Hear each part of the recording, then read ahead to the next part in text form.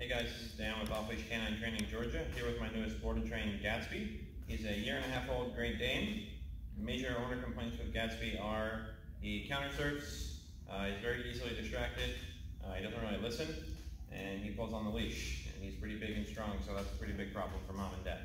They overall just want some more obedience out of him, want him to be more reliable and just more well-mannered.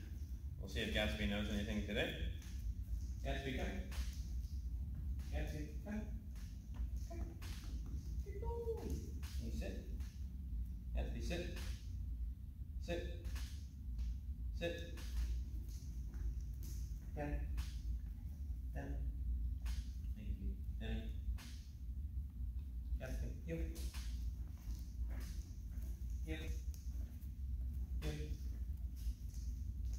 As you can see, not really starting with much, didn't really respond to any of the commands, just kind of very distracted, sniffing around. We'll get Gatsby trained on and off leash, distraction proof. Check back on all his progress in two weeks.